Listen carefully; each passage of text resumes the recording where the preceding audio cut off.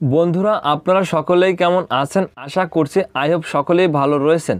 বন্ধুরা, আবারও প্রাথমিক বিদ্যালয়ের সহকারী শিক্ষক পদে নতুন একটি নিয়োগ বিজ্ঞপ্তি প্রকাশ করা হয়েছে।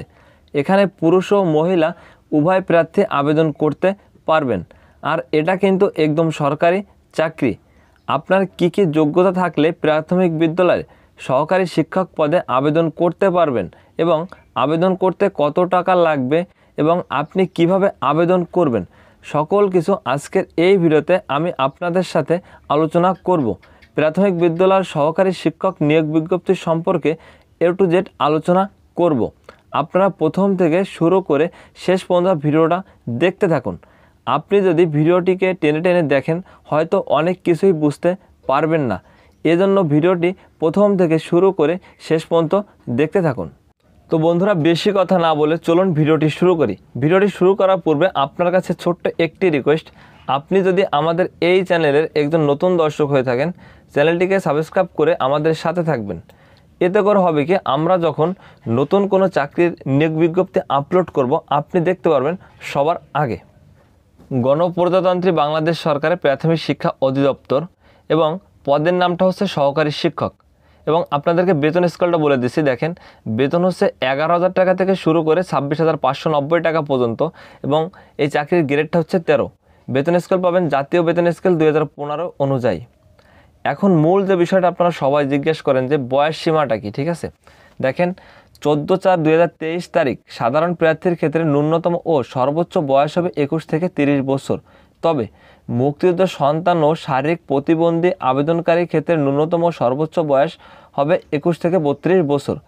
বয়স নিরূপণের ক্ষেত্রে এভিডেন্ট গ্রহণযোগ্য নয় এবং যাদের দেখেন বাইশ নয় দুই তারিখের এবং পঁচিশ তিন দুই হাজার বিশ তারিখে যে সকল প্রার্থীদের বয়স সর্বোচ্চ বয়সসীমার মধ্যে ছিল, সে সকল প্রার্থীরাও এখানে কিন্তু আবেদন করতে পারবেন।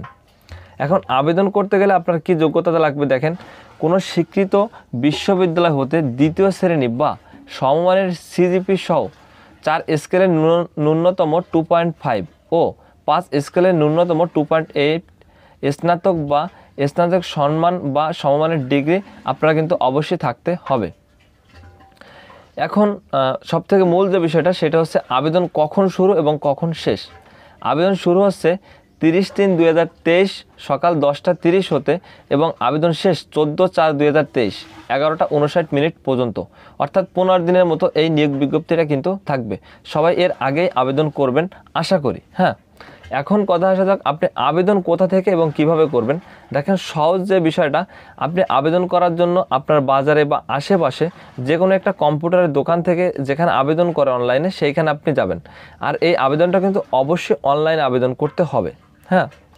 এখন অনলাইনে আবেদন করার পরে আপনার টেলিটক সিম থেকে দুইশো বিশ টাকা জমা দিতে হবে। এই টাকাটা কিন্তু তাদেরকে দিতে হবে আর এই টাকাটা আপনি কখনো ফেরত পাবেন না। অবশ্যই কিন্তু দোকানদারের কাছ থেকে টাকাটা ভালোভাবে তাদের টেলিটক নাম্বারে প্রেরণ করতে হবে। প্রেরণ করার পরে আপনার যে একটা নাম্বার দিতে হবে, সেই নাম্বারে আপনার এস এম এস আসবে এবং এস এম এসে আপনার জানিয়ে দেওয়া হবে আপনার পরীক্ষা কত তারিখে, কোন, কবে সকল কিছু ওই নম্বরে মেসেজ দিয়ে তারা জানিয়ে দিবে। ঠিক আছে? তো এখন আসি মূল যে বিষয়টা এখানে রয়েছে যে এইখানে কোন কোন জেলার প্রার্থীরা আবেদন করতে পারবেন, সেটা আমি আপনাদেরকে দেখিয়ে দিচ্ছি। রাজশাহী, খুলনা ও ময়মনসিংহ বিভাগের সকল জেলার, সকল উপজেলার শিক্ষা ও থানার স্থায়ী নাগরিকদের নিকট থেকে নিম্নে উল্লেখিত নির্দেশনা শর্ত অনুযায়ী দরখাস্ত আহ্বান করা যাচ্ছে। রাজশাহী, খুলনা, ময়মনসিংহ বিভাগের সকল জেলার, সকল উপজেলার প্রার্থীরা এখানে আবেদন করতে পারবেন। অবশ্যই আজকের এই ভিডিওটা এই পর্যন্ত। আপনারা যদি ভিডিওটা কোনো রকম বুঝতে সমস্যা হয়, অবশ্যই আমাদের কমেন্ট বক্সে জানিয়ে দিবেন। আমি আপনার সাথে সাথে কমেন্ট রিপ্লাই দেওয়ার ট্রাই করব।